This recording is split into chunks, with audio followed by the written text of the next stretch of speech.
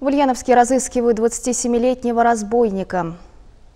Это фотографии Шувалова Владимира Дмитриевича. Молодой человек был осужден в марте 2020 года за разбойное нападение в целях хищения чужого имущества с применением насилия. Заволжский районный суд приговорил его к 9 годам лишения свободы в исправительной колонии строгого режима. Сейчас Владимир Шувалов в федеральном розыске УФСИН просит сообщить информацию по телефонам дежурной части и подразделения розыск.